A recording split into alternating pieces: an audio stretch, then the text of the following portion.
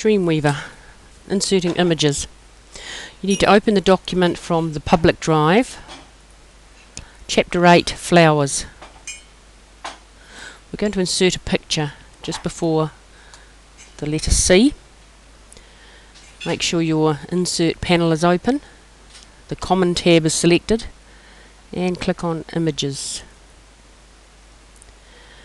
And in chapter 8, if you go back to the public drive, you will find there are four different pictures here. And this is the first one we want. We go OK. Now an Alt text or Alt tab. We need to write in something here. Sometimes when a website is slow to load, the words come up first, so at least they know what the picture is that's coming up. Oops, all lowercase. And OK. And as you see when you import it, the text comes after the picture. Now we'd like it to look a bit tidier than that. So we're going to click on the picture and we get all these properties down here.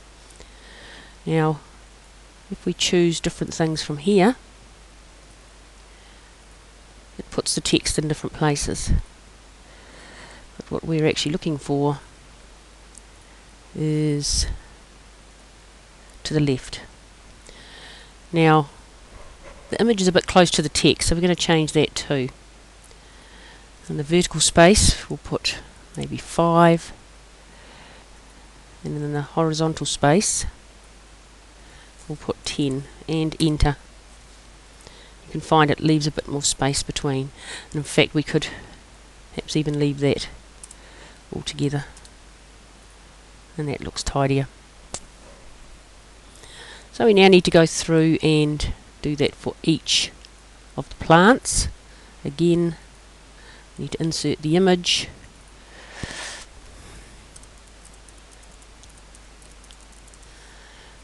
Okay, and go through the process.